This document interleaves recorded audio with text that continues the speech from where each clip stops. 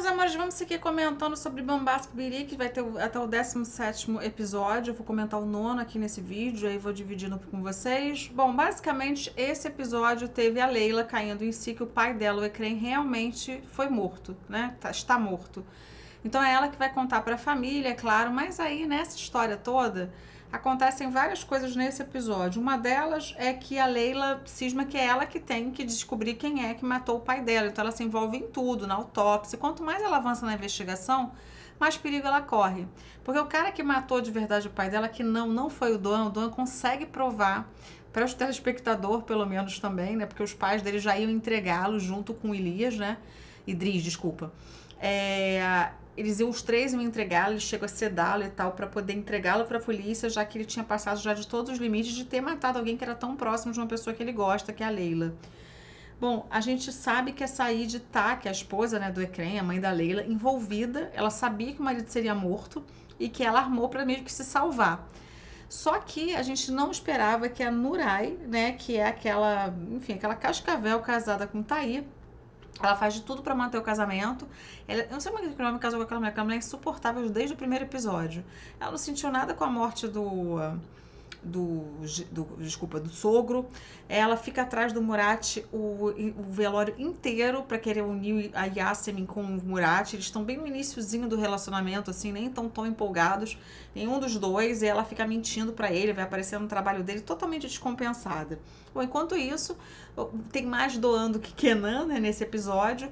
E a gente também tem a volta da. A volta não, na verdade, a Elif aparece bastante. Ela primeiro vai até a casa da Leila falar com a Leila e tudo, pedir desculpa, dizer se sentir culpada. Mas depois ela é pega novamente pelos capangas e pelo chefão que tinha, né? Na verdade, matado o pai dela o pai da Leila, e, e, tinha sequestrado aquele que é o chefão ali daquela esquema. Então ela chega a cuspir na cara dele. Mas tem umas cenas muito fortes, gente. Cenas que ela é agredida, cenas em que é o cara que quer arrancar o dedo dela, cenas em que ele. Enfim, são cenas muito fortes. Eu não gosto muito dessas cenas muito de violência, principalmente com mulher.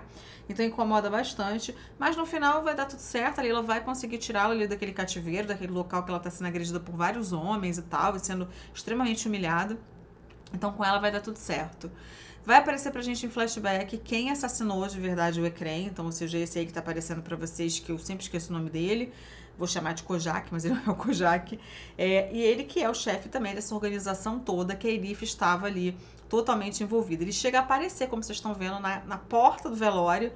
A Said sabe que ele fez, ela tenta disfarçar para a filha dela, na verdade, fazer com que a filha não se envolva mais não só para salvar a pele dela, mas também para salvar a pele da filha, porque ela não sabe qual é o perigo que ela está correndo se envolvendo com essa gente, que na verdade os dois, gente, tanto a, a Said quanto o Ecrem, eles eram né, ali, ligados com o pessoal do mal, né, do crime mesmo, DNA do crime total. Bom, o que também vai acontecer, então, nesse episódio que a gente vê, é, é o Tair se declarando pra Yasemin. Ele vai até a casa dela, eles vão acabar se beijando, ela vai dizer que sempre gostou dele, ele sabe disso, mas ele que sacaneou ela, então, desculpa não, mas ele, enfim, né, ele, ele traiu ela e tal, foi ficar com essa Nurai, não sei por que ele tinha na cabeça, devia ter batido a cabeça, porque essa mulher é insuportável. E aí, ela, ele vai se declarar. Só que enquanto isso, a Nurai vai estar tá fazendo a cabeça do Murat para ir lá se declarar para Yasmin, vai inventar um monte de coisa que a Yasmin falou que ela não falou. E eles vai acabar aparecendo, tadinho, na casa dela e vai abrir a porta e vai estar o Tair, ele vai estar todo feliz ali com champanhe, enfim. Bom, essa cena que vocês estão vendo é a cena em que o Doan prova pro pai dele né, que ele deixou uma, um, um, vídeo gravado explicando para o Kenan quem ele é, dizendo que ele não é, é, um criminoso, mas sim que ele é vítima disso que ele sofre, que tudo que ele tentou fugir da vida dele virou o Doan. Então, é meio que para explicar melhor o que, que é essa doença, né, o que, que, que faz com a saúde mental da pessoa, em que momento né, isso se é demonstrado isso, porque mostra os flashbacks dele criança. Então é importante também dizer que, que tem essas cenas na história. É, bom, a gente vai ter, então, ele sendo salvo, a Nurai ameaçando a Said, pedindo dinheiro, dizendo que precisa reconstruir a vida dela com o Taí, querendo ficar com a herança, que eu nem sei se existe, porque esse cara era tão, né, enfim, as coisas dele eram tão obscuras que a gente não entende muito bem se tem ou não tem. A Leila arrasada com a, com a morte do pai. Só que a Leila, enquanto ela estiver investigando, ela vai ligar pro, pro Kenan e ele não vai atender.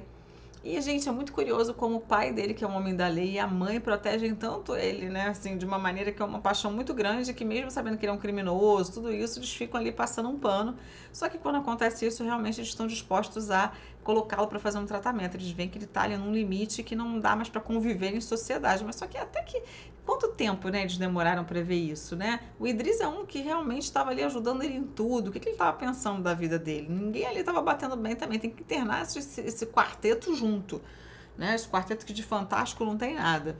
Bom, a gente é, vai ter também aí no finalzinho do episódio a Leila ligando, então tentando falar com o Kenan e não conseguindo, mas ela é, vai conseguir salvar a Elif, a Elif vai agradecer muito a ela e tal, vai dizer que ela teve força, só que ela tá num momento muito né, frágil da vida dela, ela acabou de perder o pai dela e ainda fica se envolvendo com essas cenas, então, e para piorar, ela vai ser sequestrada.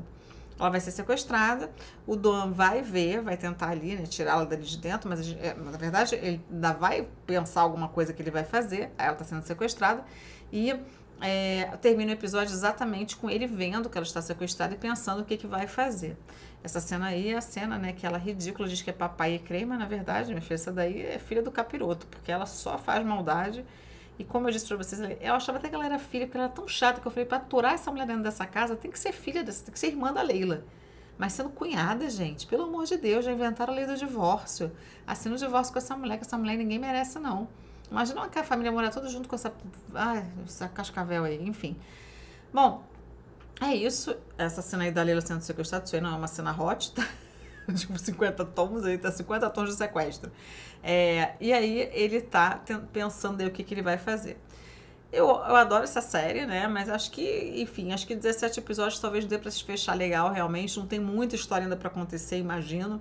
É mais mesmo fechar o ciclo ali, ele entender quem é o pai dela é, entender quem é que ela está se relacionando. Vai ser baque atrás de baque, mas a gente vai estar tá aqui comentando juntinho. E eu quero saber a opinião de vocês. Eu não quero ficar falando sozinha, não. Comenta aqui embaixo, vê se vocês gostam dessa série, se vocês estão acompanhando, ou se vocês estão acompanhando só os meus resumos aqui, meus comentários, tá? Esquece de deixar o seu like, de assistir, de compartilhar. É isso. Se inscrever no canal se você ainda não é inscrito. Um beijo grande, eu vou ficando por aqui. Até o próximo vídeo, pessoal. Fui!